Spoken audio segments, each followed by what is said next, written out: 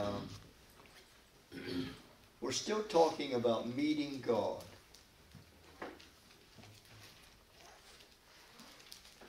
Meeting God. I keep reminding you that one day that's going to be a reality for all of us. One day we will all, according to what Paul wrote, we will all stand before God. But we've been looking in Scripture of some uh, real spectacular and amazing and, and breathtaking events when some, on rare, rare moments, there were people in Scripture actually got to meet God. Just for a moment, it might be, but it, that little moment changed their life and they were never the same.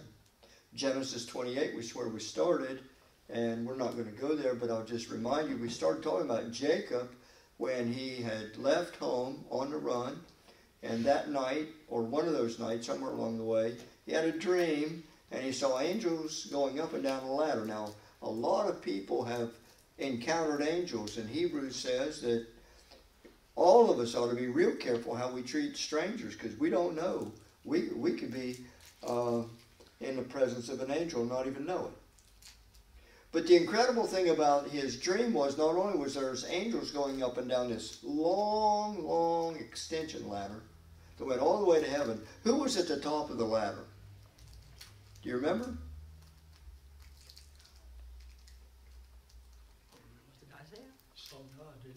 It was God.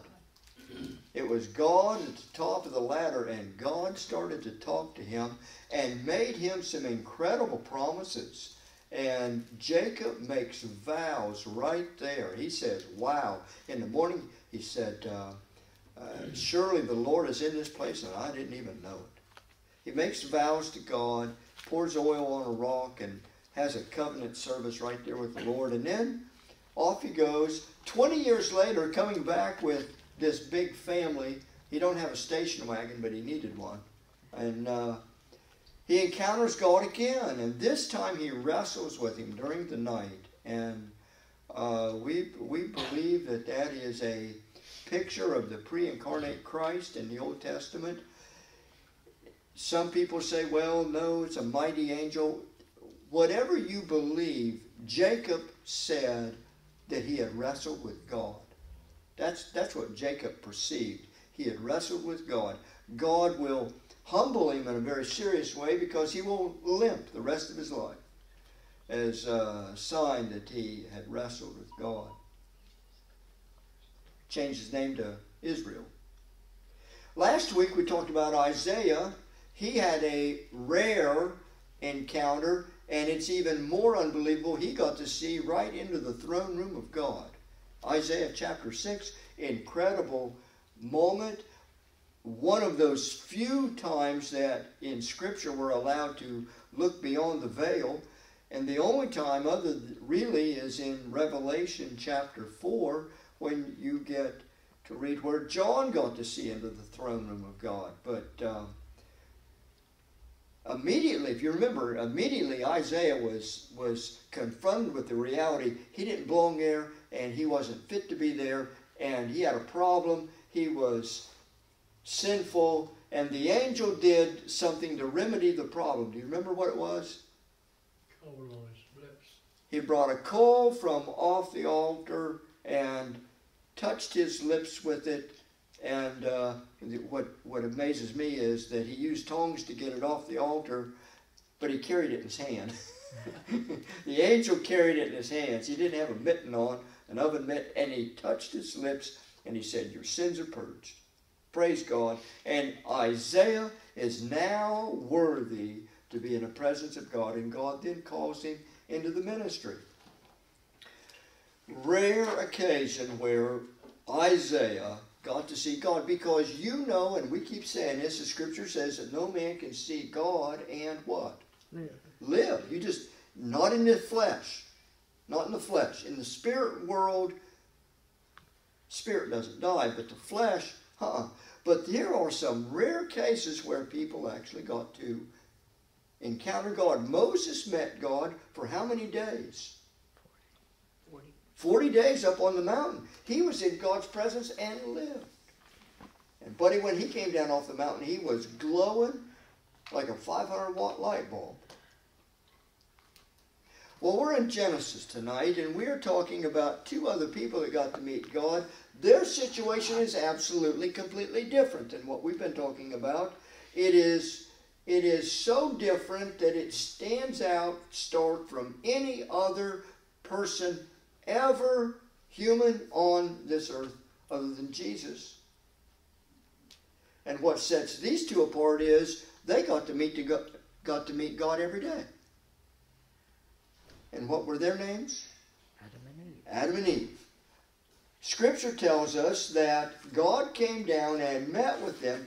Hey there, brother. Good to see you. How you been? Good to see you.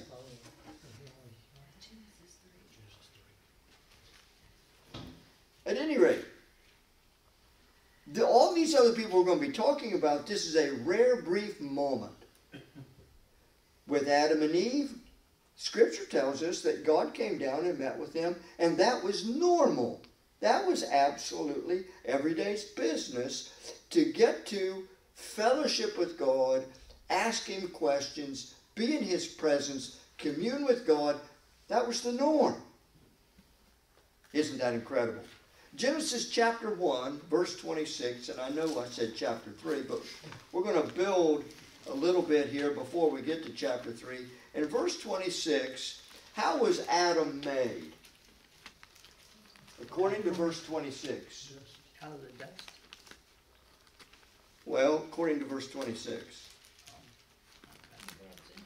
In God's image, does that mean if we had a Polaroid of Adam, if one existed, then we could look at that and say, ah, now I know what God looks like?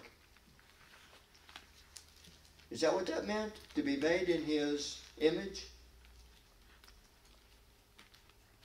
I would think more to be pure and right. All right, we're getting a little closer here. You know, the Bible says God is spirit. So to be made in his image or in his likeness, we're now talking about a moral image where wisdom and purity and holiness and righteousness and all of that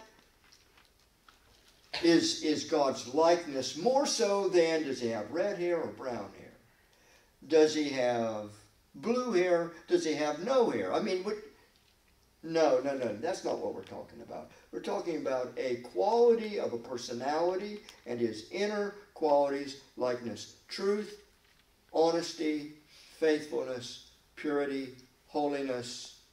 That's the moral image, and dwelt by the Holy Spirit, made in God's likeness.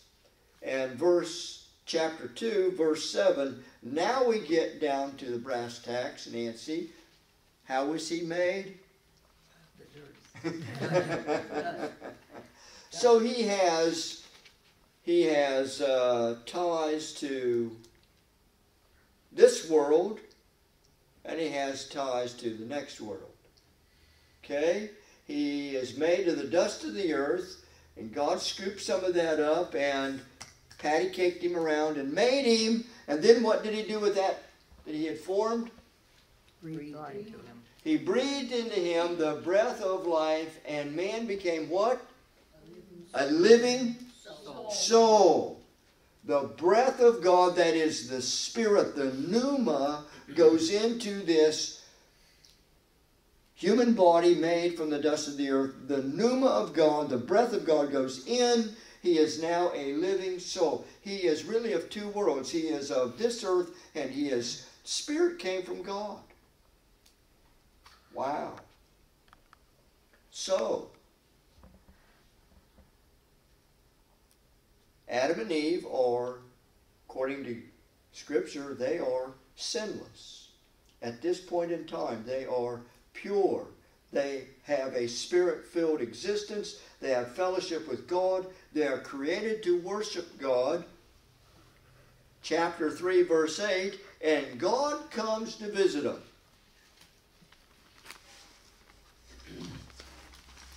You ever wish you could just have God make a house call to you? come down the sidewalk, come up the steps, come in and sit with you. Someday, someday that's that's going to be a realm that we will be physically in. Jesus said, "In my Father's house are many mansions. If it were not so, I wouldn't have, I would have told you. But I go to prepare a place for you, that where I am, there you may be also, so we can be with Him." Well, something happened in chapter three on this very day, prior to the Lord coming to visit them. Something happened that will change their day, change their life, and change all of uh, history. What happened? Satan comes. Satan came and they sinned. So we need to deal with this because their happy home is going to be turned upside down, isn't it? And everything that they had enjoyed is going to be now strained. And uh, we've got a problem that's going to happen, and uh, it's, it's uh, going to unfold in front of us. So, Genesis chapter 3, we're going to read about what the theologians call the fall, the great falling away. Adam and Eve fell out of grace, they fell out of a holy state, they, they fell out of innocence, they fell out of a state of perfection, and uh, they're going to lose their happy home and be evicted. Chapter 3, verse 1 through 7 gives us the details in the play by play event. Bonnie reminds us there's this thing called a serpent, and who is in control of the serpent? Satan. He is manipulating the serpent, and the serpent can speak. Eve is not at all perturbed by that, saying, Wow, a talking snake. Isn't that incredible? No, we get, we get the idea that maybe all the animals could talk at this point in time, so she is not awestruck by a talking snake, or that I think that would be part of the story. So, because it's not, we just assume that was normal. What did the serpent say to her in verse 1? Did God really say you must not eat from any tree in the?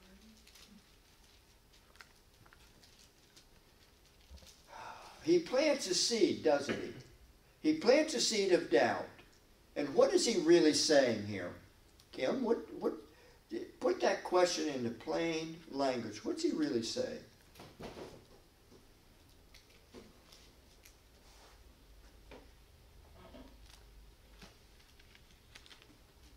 It's like he's trying to kind of put that doubt, like if it's okay, like did he really say that? Really say that? Yeah. You know it'd be okay. Yeah. But he changes it, doesn't he? Look at verse 1. He changes it. What was God's prohibition for him? God's prohibition was, Thou shalt not eat of what? The tree. The tree of knowledge of good and evil. But what does the devil say to her in verse 1? Said you couldn't eat of no tree. Of any tree. He changes the whole thing. And he casts doubt on God as if God's not being fair with her. God is holding out on her. He's denying her pleasures that should be hers, gratification that could be hers, and he exaggerates, completely exaggerates what God said. God didn't say, You can't eat of all the trees. He said that Adam could eat, but there's only one he couldn't eat from.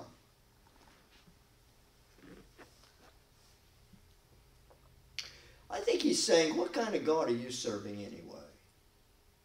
You, you, you, what kind of relationship is this anyway? He, tells you you can't eat, of, eat of any tree. Is he that really a good God, really? And he begins to create doubt in Eve's mind. Now, she should have said immediately, uh, He's a good God, and I love Him. She should have said that and cut, cut that off immediately, but she paused and reflected on it, and she's going to begin a line of reasoning that maybe this snake knows more than God. And maybe her own desires or opinion are equal to God. And she begins this rationale of maybe um, we're all the same anyway. Maybe I can eat of that and, and it'll be okay.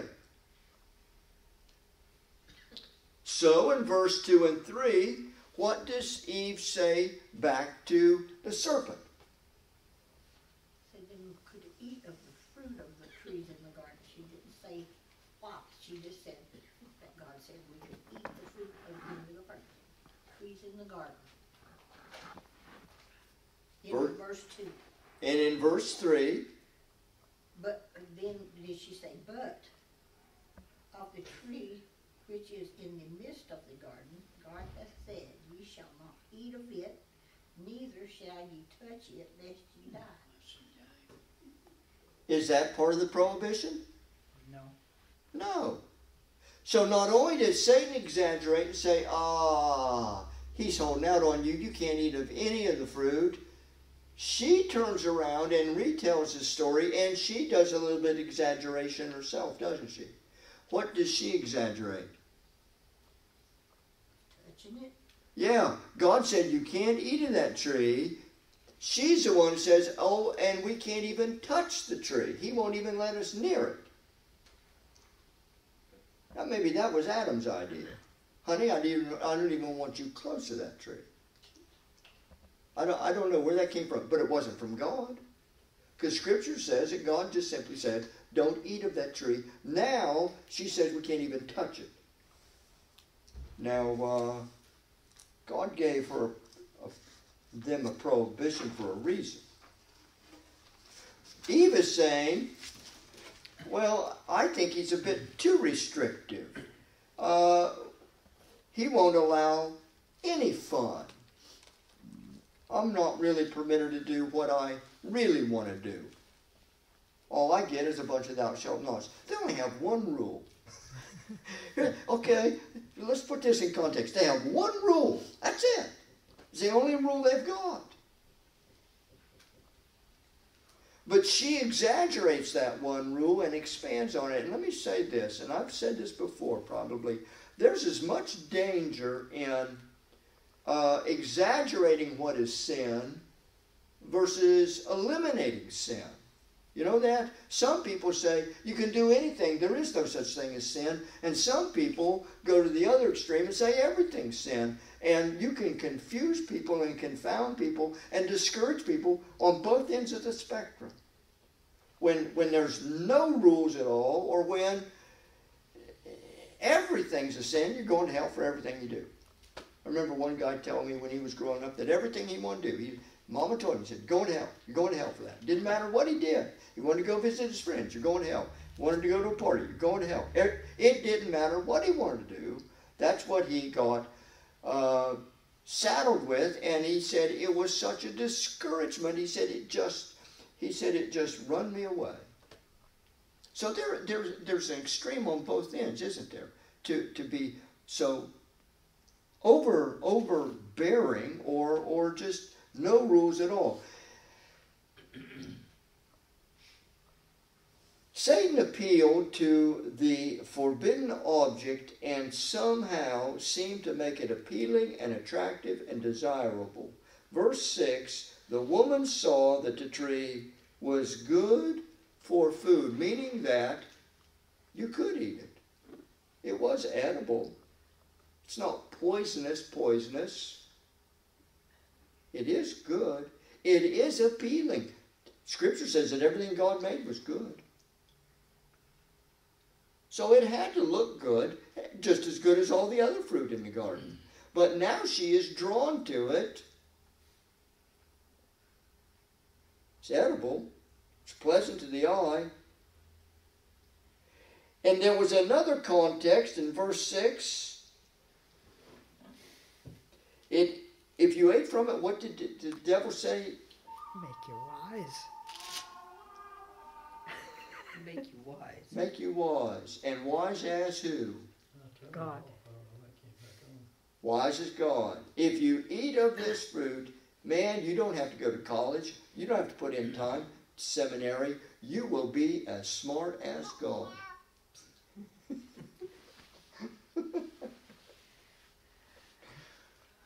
Turned it off, I'm sorry. It happens to the best of us. The desire for good and beautiful fruit was not wrong in itself. It's when the desire came to be like God. That's when Eve crossed the line.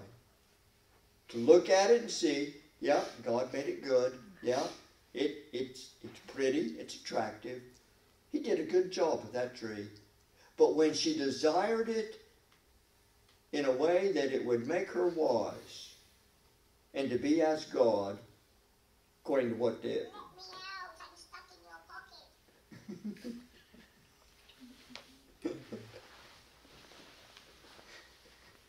I tried. Don't feel bad when I did that one. Don't even bring mine in. like- The sound effects tonight are incredible. Well,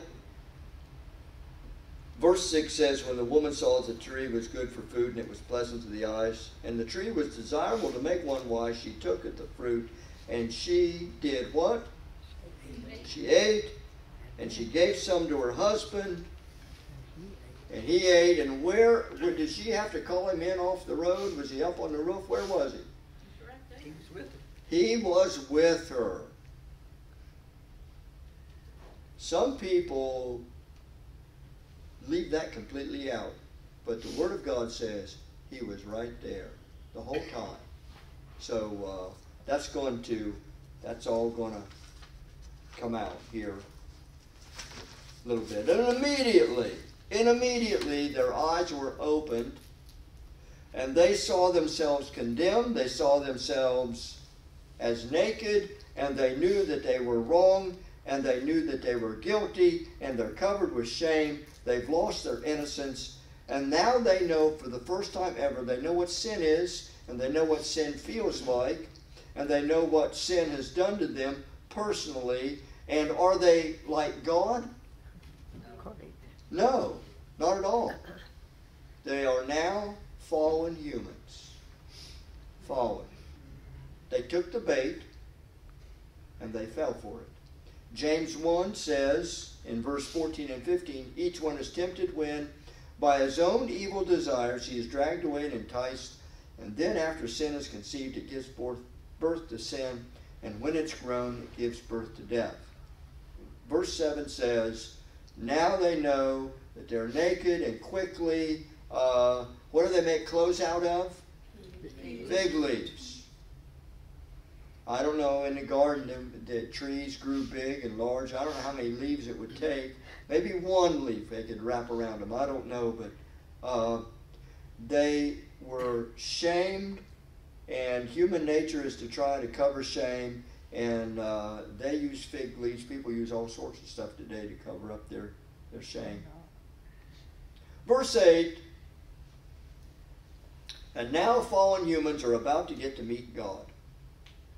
It's time for God to come down for his daily walk. What do Adam and Eve do? Hide. They hide. Why are they hiding? Because they're naked. They're ashamed. They're ashamed. And they're naked. They know they're naked. Yeah, and what else? They know they dishonored God. They know they've dishonored God. And they're afraid.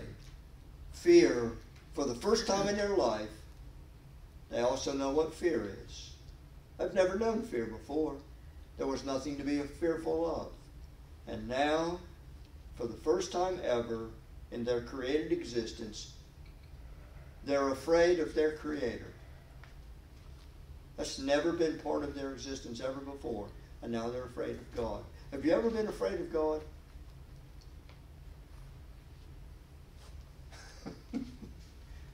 I have. As a youth, scared to death. Scared to death. And I had to do something about that. They hide. Verse 10 Adam told God, I was afraid. in verse 11, God began asking questions to Adam, uh, all sorts of questions. He comes calling him. Verse 9, the Lord called, and he called, and he called, and he doesn't want to take that call, but God's not going away. God asked him in verse 11, Who told you you were naked? Who have you been listening to? Have you ate of the tree? And what is that you've got all over you? what have you been up to? If God is all knowing, omniscient, why is he asking questions? Because they need to admit. To give them a chance to know that they're wrong and be sorry of it. Exactly. He's he's bringing out a confession, isn't he? God's asking questions, and whenever God asks questions, it's not that he's stumped and he doesn't know. He knows. He knows exactly where they are. When he comes looking for them, he knows exactly where they are, and he already knows what they've done.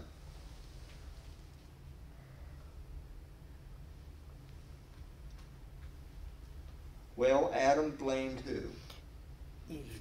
Eve. Blamed his wife, and there is not a chance in the world that he married the wrong woman. Eve blames the snake, and as the old saying goes, the snake didn't have a leg to stand on. God is holy, He is altogether righteous, He is, according to the Scripture, purer eyes than to behold evil. And God begins something that is very, very godlike. He begins this process called redemption. And redemption's a process. God requires a confession, and He questions Adam and Eve in order to get a full confession. Not to browbeat them, but to get them to confess. 1 John 1 8 says, If we say we have no sin, we deceive who? Ourselves. We're not deceiving God. God knows everything. So we're not pulling the wool over His eyes, we're deceiving ourselves. And we trick ourselves saying, well, God doesn't know because I haven't told him, so therefore he, he, he's in the dark about all that. Well, you're, you're lying to yourself. God knows. But verse 9 says, But if we confess our sins, he is faithful and just to forgive us of our sins and to cleanse us from all unrighteousness. So there has to be a confession, doesn't there? We have to get to the point where we confess and make right. The fact that God came calling and looking and asking is nothing but the grace of God. Think about that. The fact that God came calling and looking and asking and seeking is nothing but grace. What if a holy God would have just said, Well, I will leave him in his sinful state? What if God would have said, Well, that'll serve him, serve him right. I'll just leave him and Eve there. They should have known better.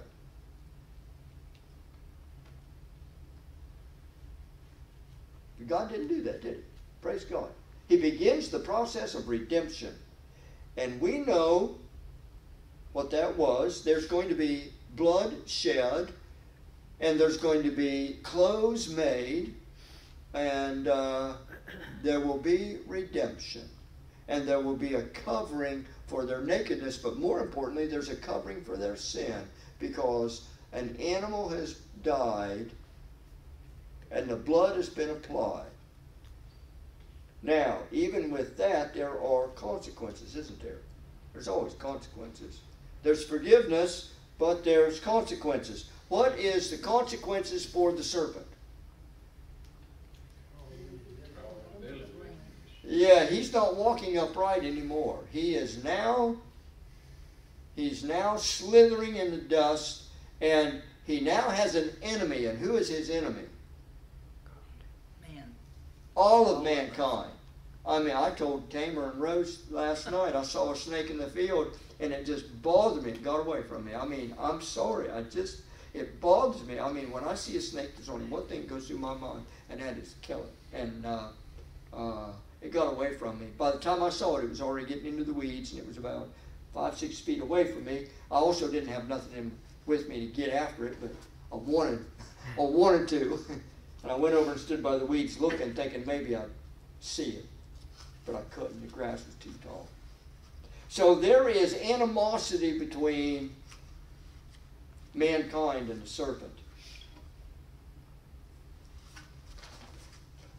What is the consequences for the women folk because of Eve? Pain in childbirth. Pain in childbirth. Do you realize, now think about this, they have, when God pronounced this and said there will be pain in childbirth, she hasn't even got a clue what God's talking about. She hasn't even had a child yet. But number two, Adam and Eve have never known what pain is. So when God says you're going to have pain, like, well, what, what's pain? Some here get up in the morning and they never know what a day without pain is. They didn't know what a day with any pain was. Up to this point, that was that was just God speak. Who who know what what's pain? What's pain? Well, they're about to find out, aren't they? So now there is going to be pain and travail and tears in the birth of children, and she's going to graciously pass that on to all womanhood in the world. Adam has some consequences. What's the consequences for him? He's going to have to work for a living. Well, now he was put in a garden to be a caretaker of the garden, to dress it and keep it. So that's right in his line to be a farmer. But what's different now? Weeds. Full of thorns and weeds and Yeah, the, the- what happened to the ground? Got hard. It was cursed. Remember, it was cursed. And uh, what did he say down here? Oh, verse 17. And he said, Because thou hast hearkened unto the voice of thy wife, and hast eaten of the tree of which I commanded thee, saying, Thou shalt not have eaten it. Cursed is the ground for thy sake, in sorrow thou shalt eat of it all the days of thy life. And he's going to live a long time. You know, Adam lived, what, 900 years, something like that? That's a long time to think about their mistake. Verse 18 Thorns and thistles shall it bring forth to thee. I get the idea there was no thorns and thistles in the Garden of Eden. Now, the thistle has got a beautiful flower, but don't try to pick it. beautiful, beautiful purple bloom. Uh, you look but don't touch. Thorns and thistles. Verse 19, what else did he add? by the sweat of his brow. By the sweat of your brow. I don't think that Adam and Eve ever broke a sweat in the garden. I don't think, I think everything was just there for him. I think it grew overnight. I think it was like you woke up in the morning, it, like with Moses, the manna was there in the morning. There it was. I think that it was maintenance free. I think this, yeah, he had a title, but he didn't have he didn't have to do a whole lot because everything was perfect in the garden. Perfectly formed flowers, perfectly formed fruit. I go to Whole Foods or or look at some of that fruit, and it's absolutely perfectly shaped, perfect color. Absolutely, you think, how did they come up with that? Because when I grow up my house, ain't nothing looks perfect. you know, it's deformed, and one side looks good and the other side doesn't. But, but in the garden, you get the idea that everything grew perfect. I mean, it is just it, it, it it's perfection because it's a perfect place. And God saw all that He made, and it was perfect. It was good, but I mean, it was top of the line good. It was perfection. And now, he's going to have to work hard, and I mean work hard, outside the garden, trying to scratch out a living by the sweat of his brow. In the garden, life came forth with ease, beauty, and abundance. Now it's going to come forth by toil and sweat. It won't always be perfect, and it won't always be a bumper crop. In verse 21, that's when we read about the animal being slain blood obviously applied for their sakes, and the animal skin becomes skin clothes for them. The good news is God did not leave Adam and Eve in the condition they were in. And aren't you glad He didn't do that with us either? He sent His Son. Remember, I said redemption's a process. All through the Old Testament, animals being killed, animals being killed. And then God sends forth His perfect Son, the Lamb of God, and He is slain from the foundation of the world, according to Scripture. And He will make atonement for all the sins of the world. God can bless us even in our mess. In the midst of a wayward life where sin abounds, the Bible says grace much more abounds.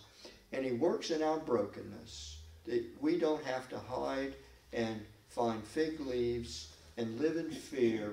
We can come to God. We read here a story that is so human like that when people mess up, they want to hide. They're so ashamed. If they really knew what God was like, they would have came running when God came into the garden. But in the story, it's God coming looking for them, isn't it? God is coming, looking and calling and seeking and searching, and they're hiding. That's the gospel message we have that God is looking for everybody, calling, seeking. What was the verse I used a few weeks ago?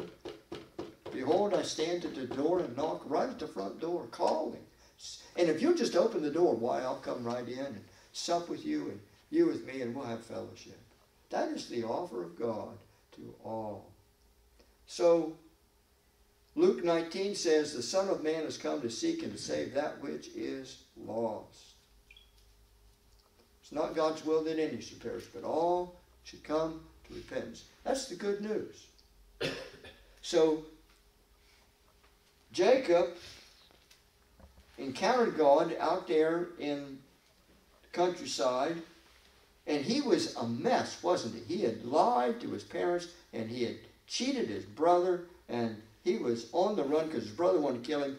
And, and as I said this a few weeks ago, it confounds me that God nowhere in that scripture confronts him and says, Now, before we do anything, you, you, let's get this clean. There's no record of God confronting him, and yet he must have. But God made a way for him.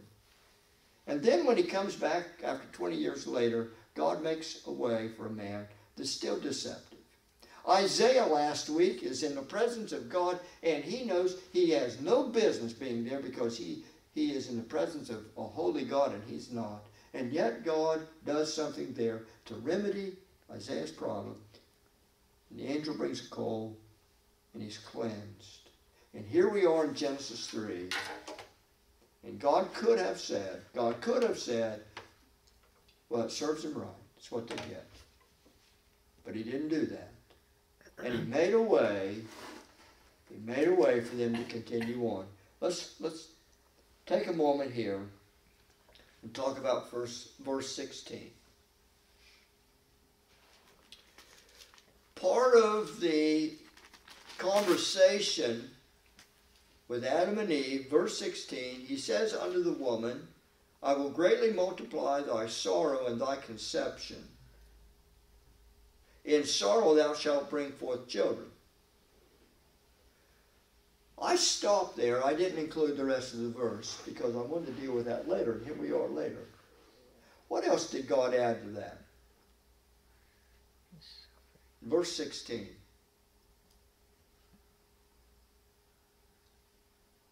Her desire would be for her husband And and that he would rule over her.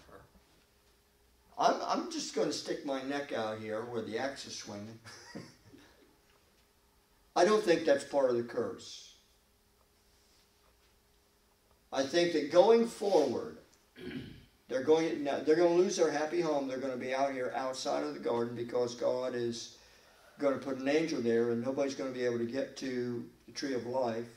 That'd be horrible. Sinful people eat of the tree of life and then live forever in a sinful condition, and with a body that's never designed to live forever here in this world. But that's grace that you can't eat of that and live forever here. I think that this has a whole lot to do with the fact that going forward they need each other. And I think this is comes out of the fact that Adam was right there beside Eve and never said a word.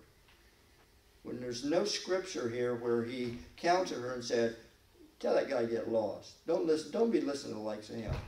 that I think that that comment right here, your desire shall be to thy husband, and he shall rule over thee, is kind of, can I say that God is saying to Adam, you're responsible for her. This is part of your job as a husband is to care for her and to watch over her, and he shall rule over her. That not in some Thumbs down. thumbs down, you know, in control, control freak. That's not what I'm talking about, and I don't think that that's what God wanted either. This, that's, and some people take that and run with it, but no, I think this is all about both of them outside of the garden. God is saying you're going to need each other, and going forward, you are going to talk things out as a husband and wife and you're going to discuss stuff together and you're not one's not going to do one one thing and then and then afterwards tell no you're going to talk about it beforehand. Your desires for him and his desire is to look after you and and and uh, different roles there. I, I don't think that's part of the curse i think that is god is talking about outside of the garden they're going to they're in a new world that they have never been in before. They don't know they don't know what it's like to be outside the garden. So this is a new life going forward. I think God's saying uh, from here on out, this is this is what it's going to be. It's not about Adam being authoritative with her, uh, but about both of them relying on each other. What do you think of that?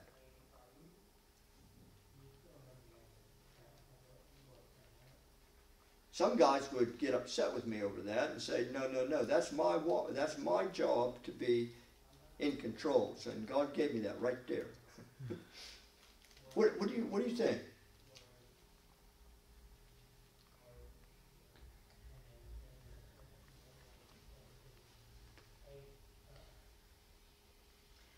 I think Adam, God made him first. And then he created a helpmate for him. But not as somebody to rule over her like, you know, with a rod and stick or whatever. He wanted them to be thinking of each other. I think because Adam didn't say a word of, said, well, even we shouldn't be eating this. God said not to. He didn't bring none of that out. So I think God was trying to say, you need to think about this and maybe help her to think about it, you know, rather than do a sin or whatever.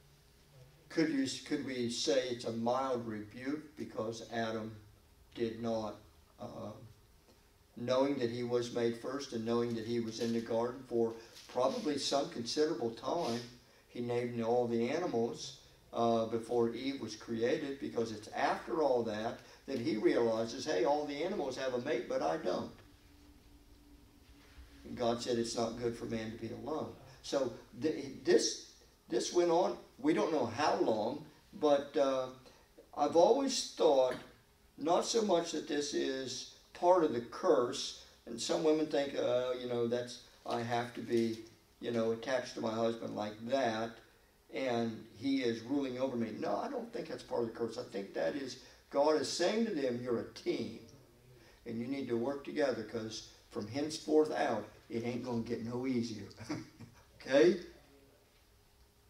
Life's gonna get hard outside of the garden, isn't it? Life's hard. Well, when, when God told Adam that he couldn't eat of that tree, he didn't tell Eve that, he told Adam.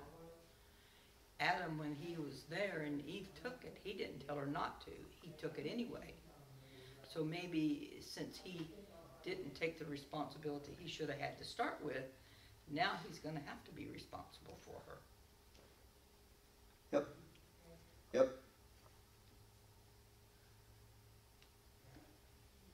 Because when God starts questioning, who does he start with? Adam, He starts with Adam, doesn't he? and he, he blames Eve. he? Blames But, but. God holds Adam responsible first. He starts with Adam. There, there's something to be said with that.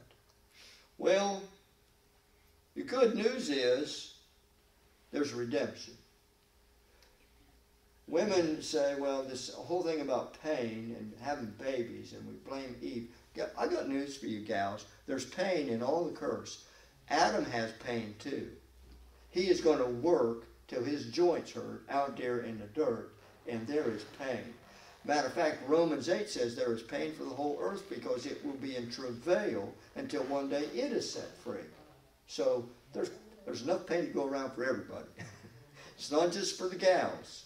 Uh, the sweat of your brow is not easy street, is it? It's, it's, it's tough sledding ahead, and uh, uh, that's the news. Well, verse 23 Therefore the Lord God sent him forth from the Garden of Eden to till the ground from whence he was taken, and he drove out the man, and he placed at the east of the Garden of Eden cherubims and a flaming sword which turned every way to keep the way of the tree of life, lest somebody eat of the tree of life and live forever in this world. Eternal life is not for this planet. We are we are uh, destined for eternal life because we have a soul. Our soul will live forever, but in in bodies like this, that would be a curse, wouldn't it? Anything you'd like to add to that? Or anything I left out that just bothers you? Or inspires you? Well, they say that they have hunted for the Garden of Eden, you know, and he says it's east. He even says that he placed at the east of the gate of Eden cherubims. So, but nobody knows exactly which way is east in God's eyes. Correct. Correct. And when God hides something, he hides it, doesn't he? But didn't he hide Moses' body? Yeah, and, and uh, people have looked for it for, forever. Well,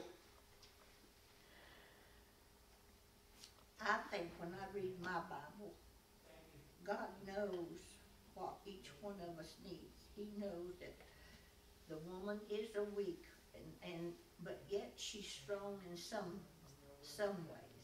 But God knows that we are weaker than the man. I mean, we don't have the strength the man has. I mean, some men. well, I really don't believe no woman has the strength of, of her husband unless he is ill. I mean, I know me and Harold used to wrestle and he could always whip me. and, you know, I just read my Bible and whatever God tells me, I believe it. I believe, that's the way I just believe. I mean, I, I believe God's word. I believe Bless your the heart. word of God. And you should. We all should. Some encounters with God are glorious. Some encounters are spectacular. Some are sad. One of the saddest encounters to me is the rich young ruler who walked away. He was in the presence of the Son of God and he walked away. We have no idea what happened with him. Some would like to say, well, he changed his mind, came back. We don't know that. You know, that's that's sad. This one here was a horrendous story, but it's got a happy ending because God made a way for them to still, still come to God. He made a way, didn't he? And he, he was there for, for Adam and Eve. He's there for us too. And for whosoever will, will uh, come approaching. Let's pray. Father, we thank you for your word. It's uh, telling of humanity. We, we see ourselves in every one of these stories. We, we see ourselves running from you. We see ourselves confessing to you. We see ourselves needing the blood atonement. We see ourselves serving you out of love and favor and grace. Thank you, Father, that you made a way for humanity, and we're part of that. We thank you for Jesus dying on the cross for our sins. We thank you, Lord, that uh, sinful people can come to God. And you will remove the stain and the fear and the shame when they confess and believe and walk with you. Now, Father, be with us as we go home. Keep us safe. Watch over us. Provide for our needs. Keep us safe in all we do. We pray for our family members that need God's attention. We pray that, Lord, you will be merciful to them and help them. For those that are sick, may you give a healing. For those who have lost loved ones, we pray, Father, for comfort over them and their hearts. And, Father, grace to go on in spite of the loss of a loved one. Father, give them faith to believe, to walk with you. Be with Joe, Lord, as he continues to recover from surgery. Father, bless this new heart. Bless his life. May he live every day to the glory of God.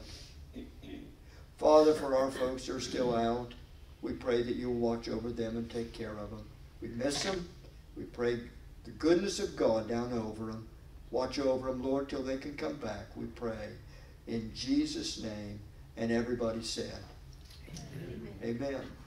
God bless you. Thank you for being here tonight.